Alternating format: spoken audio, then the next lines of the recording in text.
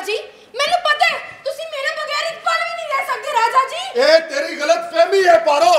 ਮੈਂ ਹੁਣ ਤੇਰੇ ਬਗੈਰ ਜੀ ਲਾਂਗਾ ਪਰ ਚੰਦਰਮੁਖੀ ਦੇ ਬਗੈਰ ਇੱਕ ਪਲ ਵੀ ਨਹੀਂ ਜੀ ਸਕਾਂਗਾ। ਤੁਹਾਨੂੰ ਪਤਾ ਹੈ ਰਾਜਾ ਜੀ ਮੈਂ ਸਰਕਿਸ ਵਿੱਚ ਪੈਦਾ ਹੋਈ ਹਾਂ। ਇਸ ਸਰਕਿਸ ਦੇ ਲੋਕਾਂ ਨੇ ਮੈਨੂੰ ਉਂਗਲੀ ਤੋਂ ਫੜ ਕੇ ਰੱਸੀ ਦੇ ਉੱਤੇ ਚੱਲਣਾ ਸਿਖਾਇਆ ਹੈ। ਮੈਂ ਇੱਥੇ ਖੇਡ ਕੇ ਜਵਾਨ ਹੋਈ ਹਾਂ ਰਾਜਾ ਜੀ। ਇਹ ਸਭ ਇਹ ਸਭ ਮੇਰੇ ਦੁੱਖ ਦਰਦ ਦੇ ਸਾਥੀ ਨੇ। ਮੈਂ ਇਹਨਾਂ ਨੂੰ ਛੱਡ ਕੇ ਤੁਹਾਡੇ ਨਾਲ ਪਿਆਰ ਕੀਤਾ ਇਹ ਮੇਰੇ ਵਾਰਿਸ ਨੇ ਰਾਜਾ ਜੀ ਮੈਂ ਆਪਣੇ ਵਾਰਸਾਂ ਨੂੰ ਛੱਡ ਕੇ ਤੁਹਾਨੂੰ ਆਪਣਾ ਵਾਰਿਸ ਬਣਾਇਆ ਹੈ। ਤੇ ਤੁਸੀਂ ਤੁਸੀਂ ਮੈਨੂੰ ਲਾਵਾਰਿਸ ਕਰ ਦਿੱਤਾ ਹੈ, ਰਾਜਾ ਜੀ ਲਾਵਾਰਿਸ ਕਰ ਦਿੱਤਾ ਹੈ ਮੇਰੇ ਦਿਲ ਦੀ ਵਾਰਿਸ, ਹੁਣ ਤੂੰ ਨਹੀਂ। ਚੰਦਰਮੁਖੀ ਹੈ ਚੰਦਰਮੁਖੀ। ਤੇ ਮੈਂ ਆਪਣੇ ਵਾਅਦੇ ਦੇ ਮੁਤਾਬਿਕ ਆਪਣੀ ਬਰਾਤ ਦੋ ਦਿਨਾਂ ਬਾਅਦ ਹੀ ਲਿਆਵਾਂਗਾ। ਪਰ ਹੁਣ ਮੇਰੀ ਵੋਟੀ ਪਾਰੋ ਨਹੀਂ, ਚੰਦਰਮੁਖੀ ਹੋਏਗੀ, ਚੰਦਰਮੁਖੀ। ਸਰਕਸ ਵਾਲਿਆਂ ਨੂੰ ਖਡਾਉਣਾ ਸਮਝ ਕੇ ਖੇਡ ਗਿਆ ਰਾਜਾ। ਇਹ ਖੇਡ ਸਰਕਸ ਵਾਲਿਆਂ ਤੋਂ ਚੰਗੀ ਕੋਈ ਨਹੀਂ ਖੇਡ ਸਕਦਾ ਰਾਜਾ। ਕੋਈ ਨਹੀਂ ਖੇਡ ਸਕਦਾ। ਹਾਂ, ਜ਼ਰੂਰ। ਤੇਰੀ ਬਾਰਾਤ ਇਸ ਸਰਕਸ 'ਚ ਜ਼ਰੂਰ ਆਏਗੀ। ਜਿੰਦੀ ਦੁਲਹਨ ਮੈਂ ਨਹੀਂ, ਚੰਦਰਮੁਖੀ ਹੋਏਗੀ। ਪਰ ਉਸ ਦਿਨ ਪਾਰੋ ਵੀ ਇੱਕ ਨਵਾਂ ਤਮਾਸ਼ਾ ਕਰੇਗੀ। ਤੇ ਉਹ ਨਵਾਂ ਤਮਾਸ਼ਾ ਇਸ ਸਰਕਸ ਦੇ ਲੋਕ ਵੀ ਵੇਖਣਗੇ ਤੇ ਤੂੰ ਵੀ ਵੇਖੇਂਗਾ ਰਾਜਾ, ਤੂੰ ਵੀ ਵੇਖੇਂਗਾ। ਤੂੰ ਬਰਾਤ ਜ਼ਰੂਰ ਲੈ ਕੇ ਹੀ ਰਾਜਾ। ਜੇ ਪਾਰੋ ਤਮਾਸ਼ਾ ਕਰਨ ਵਾਲੀ ਏ, ਤੇ ਚੰਦਰਮੁਖੀ ਵੀ ਤਮਾਸ਼ਾ ਕਰਨ ਵਾਲੀ ਏ। ਇਹ ਤੇ ਵਕਤ ਹੀ ਦੱਸੇਗਾ, ਵੱਡਾ ਤਮਾਸ਼ਾ ਕੌਣ ਕਰਦਾ ਹੈ? ਪਾਰੋ ਜਾਂ ਚੰਦਰਮੁਖੀ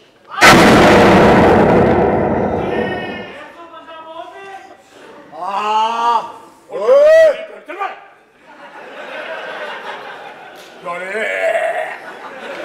ਕਰੋ ਕਰੋ ਗੁੱਸਾ ਸਰਕਸ ਵਾਲਿਓ ਕਰੋ ਕਿਉਂਕਿ ਹੁਣ ਰਾਜਾ ਇੱਥੋਂ ਤੁਹਾਡੀ ਚੰਦਰਮੁਖੀ ਨੂੰ ਵਿਆਹ ਕੇ ਲੈ ਜਾਏਗਾ ਪਤਾ ਜੱਤ ਹੋ ਜਾ ਮੈਂ ਮਲਕ ਦੇ ਮੁੰਡਿਆਂ ਦਾ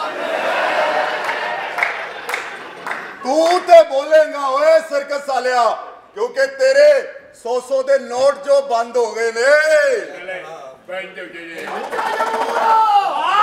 ਬੱਚਾ ਜਮੂਰਾ ਬਾਬਾ ਘੂਮ ਜਾ। ਘੂਮ ਜਾ। ਘੂਮ ਗਿਆ। ਘੂਮ ਜਾ। ਘੂਮ ਗਿਆ। ਅੱਖਾਂ ਬੰਦ ਕਰਕੇ ਆਪਣੇ ਇਲਮ ਦੇ ਨਾਲ ਦੱਸ ਕੀ? ਕਿ ਚੰਦਰਮੁਖੀ ਨਾਲ ਵਿਆਹ ਹੋਏਗਾ ਬਾਊ ਦਾ। ਬਾਬਾ ਹਾਂ। ਉਹਦੇ ਨਾਲ ਵੀ ਵਿਆਹ ਹੀ ਹੋਏਗਾ। ਹਾਂ। ਨਿਕਾਹ ਨਹੀਂ ਹੋਏਗਾ।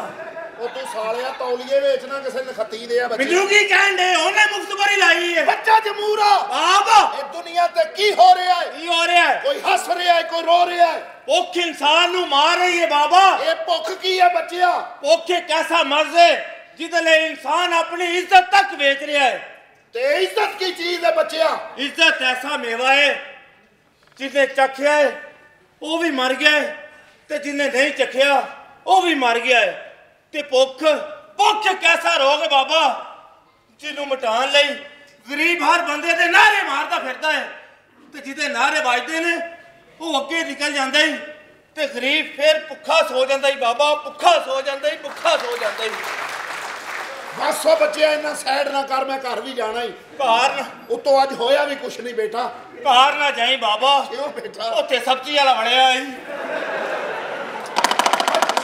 ਜਮੂਰਾ ਚਾਚਾ ਕਿਆ ਕੀ ਕਹਿਣਾ ਕਹਿ ਪਹਿਲੇ ਬੰਦੇ ਕੰਨ ਚ ਗੱਲ ਕਰੋ ਕਿਆ ਕਹਿਣ ਲੱਗਾ ਚਾਚਾ ਦੱਸ ਮਤਾਰੇ ਦੀ ਮਾਂ ਨੇ ਇਹਨੂੰ ਕਿਵੇਂ ਪਾਲਿਆ ਲੰਗੇ ਪਿੰਡੇ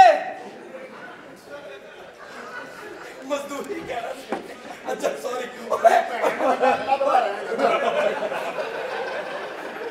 ਇਹ ਹੁਣ ਜਦੋਂ ਡਰਾਮਾ ਮੁੱਕਣਾ ਉਦੋਂ ਲੱਥਣੀ ਚਾਚਾ। ਯਾਰ ਚਾਚਾ। ਪਹਿਲੇ ਵੇ ਚਲਾ ਗਿਆ ਕਿ ਚਲਾ ਗਿਆ। ਨਹੀਂ ਦੇ ਬਾਕੀ ਗੱਲਾਂ ਛੱਡੋ ਤੁਸੀਂ ਮੈਨੂੰ ਇੰਨੇ ਸਵਾਲ ਪੁੱਛੇ ਨੇ ਇੱਕ ਸਵਾਲ ਤੁਸੀਂ ਵੀ ਦੱਸੋ ਯਾਰ। ਆ ਬੋਲ ਗਿਆ ਕਿ ਤੁਹਾਡੇ ਵਰਗੇ ਬੱਚੇ ਜੰਮਣੇ ਹੋਣ ਜੀ ਬੇਟਾ। ਤੇ ਨੂੰ ਦਾ ਸਹੁਰੇ ਨਾਲ ਖਰਾਬ ਹੋਣਾ ਜ਼ਰੂਰੀ ਹੈ?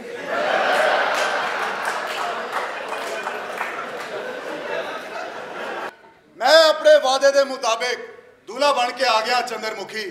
ਲੇਕਿਨ ਹੈਰਾਨ ਆ ਕਿ ਅੱਜ ਤੇ ਤੈਨੂੰ ਮੇਰੇ ਸਾਹਮਣੇ ਵੋਟੀ ਦੇ ਰੂਪ ਵਿੱਚ ਆਣਾ ਚਾਹੀਦਾ ਸੀ। ਲੇਕਿਨ ਤੂੰ ਤੂੰ ਉਸੇ ਸਰਕਸ ਵਾਲੀ ਦੇ ਰੂਪ ਵਿੱਚ ਕਿਉਂ? ਇਹ ਤੇ ਤੈਨੂੰ ਮੈਂ ਦੱਸਣੀ ਆ ਰਾਜਾ।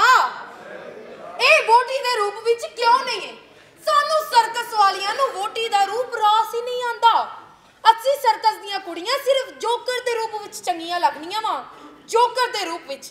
ਸਰਕਸ ਜਾਣ ਵਾਲੇ ਲੋਕਾਂ ਦਾ ਦੁੱਖ ਦਰਦ ਖਤਮ ਕਰਕੇ ਉਹਨਾਂ ਨੂੰ ਖੁਸ਼ੀਆਂ ਦੇਣੇ ਆ, ਖੁਸ਼ੀਆਂ। ਤੇ ਤੂੰ ਤੇ ਉਹਨਾਂ ਜੋਕਰਾਂ ਦਾ ਵੀ ਦਿਲ ਤੋੜ ਦਿੱਤਾ ਰਾਜਾ। ਜੋਕਰਾਂ ਦਾ ਵੀ ਦਿਲ ਤੋੜ ਦਿੱਤਾ। ਤੈਨੂੰ ਕਿਹਾ ਸੀ ਨਾ, ਜਿਸ ਦਿਨ ਤੂੰ ਇਸ ਸਰਕਿਸ 'ਚ ਬਾਰਾਤ ਲੈ ਕੇ ਆਏਗਾ ਪਾਰੋ ਇੱਕ ਨਵਾਂ ਤਮਾਸ਼ਾ ਕਰੇਗੀ। ਤੇ ਉਹ ਨਵਾਂ ਤਮਾਸ਼ਾ ਹੈ ਵੇ ਪਾਰੋ ਤੈਨੂੰ ਆਪਣੇ ਹੱਥੀਂ ਕਤਲ ਕਰ ਦੇਵੇਗੀ। ਤੇ ਤੇਰੀ ਲਾਸ਼ ਤੇ ਸਰਕਸ ਵਾਲੇ ਕਰਤਬ ਕਰਨਗੇ ਕਰਤਬ ਨਹੀਂ ਪਾਰੋ ਨਹੀਂ।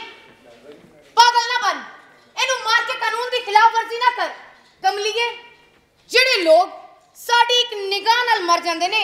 ਉਹਨਾਂ ਨੂੰ ਗੋਲੀ ਨਾਲ ਮਾਰਨ ਦੀ ਕੀ ਲੋੜ ਹੈ? ਚੰਦਰਮੁਖੀ ਇਹ ਤੂੰ ਕੀ ਕਹਿ ਰਹੀ ਹੈ? ਮੈਂ ਤੈਨੂੰ ਵਿਆਹਣ ਆਇਆ ਆਪਣਾ ਬਣਾਉਣ ਆਇਆ ਇਸ਼ਕ ਕਰਨਾ ਤੇਰੇ ਨਾਲ ਚੰਦਰਮੁਖੀ ਇਸ਼ਕ। ਇਸ਼ਕ ਤੇ ਤੂੰ ਪਾਰੋ ਨਾਲ ਵੀ ਕਰਨਾ ਸੈ ਤੂੰ ਮੈਨੂੰ ਵੇਖਿਆ ਤੈਨੂੰ ਮੇਰੇ ਨਾਲ ਇਸ਼ਕ ਹੋ ਗਿਆ। ਤੂੰ ਸਰਕਸ ਦੀ ਕਿਸੇ ਹੋਰ ਕੁੜੀ ਨੂੰ ਵੇਖੇਗਾ ਤੈਨੂੰ ਉਹਦੇ ਨਾਲ ਵੀ ਇਸ਼ਕ ਹੋ ਜਾਏਗਾ। ਤੇਰੇ ਵਰਗੇ ਲੋਕਾਂ ਨੇ ਸਰਕਸ ਦੀ ਕੁੜੀਆਂ ਨੂੰ ਇਸ਼ਕ ਦੇ ਸੁਹਾਣੇ ਖਾਬ ਵਿਖਾ ਕੇ ਸਰਕਸ ਦੀ ਦੁਨੀਆ ਹੀ ਉਜਾੜ ਦਿੱਤੀ ਏ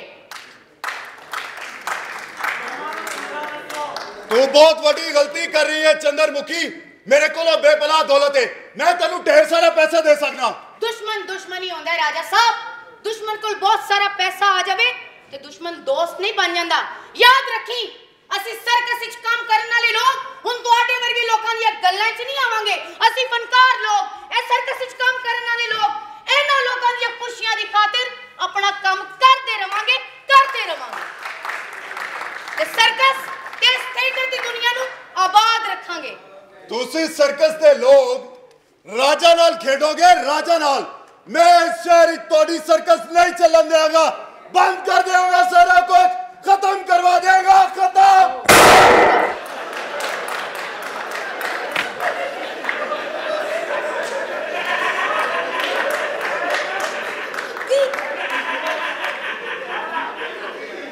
ਉਹ ਤੁਹਾਨੂੰ ਤੈਨੂੰ ਗੋਲੀ ਤਾਂ ਨਹੀਂ ਲੱਗੀ? ਨਹੀਂ ਨਹੀਂ। ਤੈਨੂੰ ਤਾਂ ਨਹੀਂ ਲੱਗੀ?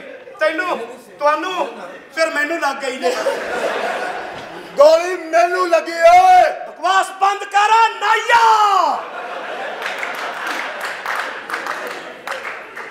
ਤੂੰ ਕੀ ਸਮਝਣਾ ਕਿ ਤੇਰੀਆਂ ਦੋ ਚਾਰ ਗੋਲੀਆਂ ਚਲਾਉਣ ਨਾਲ ਇਹਨਾਂ ਦਾ ਰਿਜ਼ਕ ਬੰਦ ਹੋ ਜਾਏਗਾ? ਔਰ ਰਿਜ਼ਕ ਬੰਦ ਕਰਨਾ ਤੇ ਦੇਣਾ ਸਿਰਫ ਮੇਰੇ ਸੋਹਣੇ ਰੱਬ ਦੇ ਹੱਥ 'ਚ। ਤੇਰੀ ਤੇ ਆਪਣੀ ਸਾਈਕਲ ਦੀ ਚੈਨ ਟੁੱਟੀ, ਤੇਰੇ ਕੋਲ ਪੈਸੇ ਨਹੀਂ ਨੇ।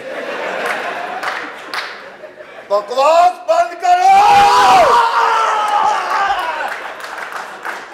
ਓ ਮੈਂ ਤੈਨੂੰ ਵੇਖ ਲਵਾਂਗਾ! ਕੁਛ ਕਹਿਣ ਤੋਂ ਪਹਿਲੇ ਜਿੱਥੇ ਕੁਸਰਾ ਲੰਮਾ ਪਿਆ ਜਾ ਕੇ ਲੰਮਾ ਪੈ ਜਾ।